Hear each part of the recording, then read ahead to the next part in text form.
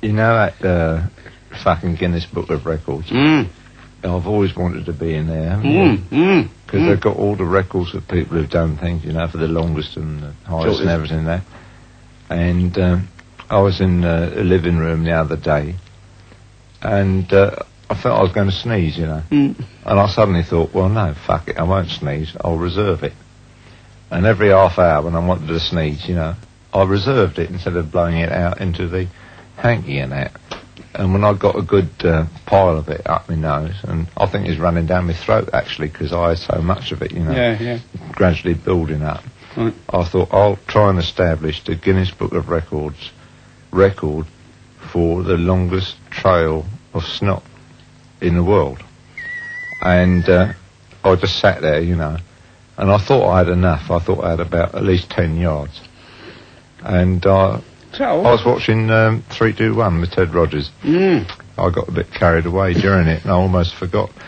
And you were so- fucking breaking a world record, man. I was breaking a world record. That was what I was after. Yeah. So very delicately, I put up me, me forefinger and my thumb. Mhm. I pulled and I pulled. You know, I was getting a good length going, Fucking lovely, mate. I and you- I thought I'd um, I'd try and get right over to the light fitting on the right. You know, we have a light fitting That's to the right ten foot away, right? Yeah. Ten yards away. Ten yards away. Oh, But the only problem was, it kept looping. You know, like Oh, uh, yeah. like fucking spaghetti. You oh, know, bogies do that. They loop. Yeah, they looped. Mm. And my fear was they'd touch the floor and pick up dust and get disqualified. You Or know. the sag in, in you know. Yeah, you can't afford to let your bogey sag. And it seemed like hours. It Yeah. probably was only about um, ten Oh, minutes. no. But I got to the wall, right, yeah. hung this dry bogey, and then I very cautiously drew back, you know, Yeah. hanging it out Yeah.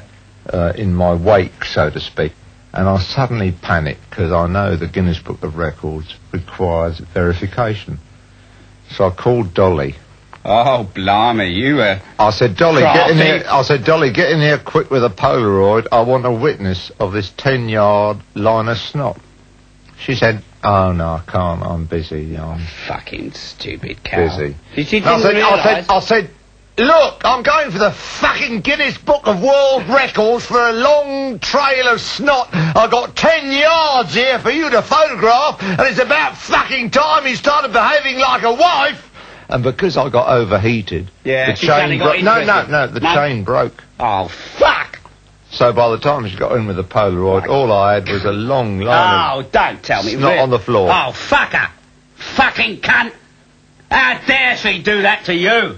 My mate, fucking destroying your your Shall I- bogey shall I like tell you- that. shall I tell you- Oh, Shall I tell you what I did? Shall I tell you what I Oh, did? Go on.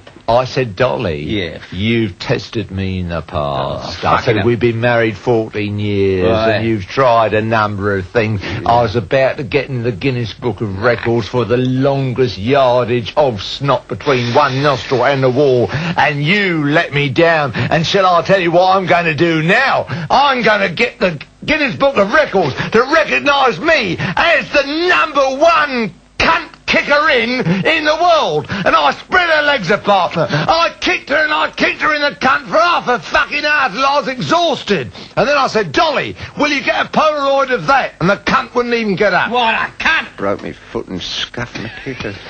We leave psychotherapy here.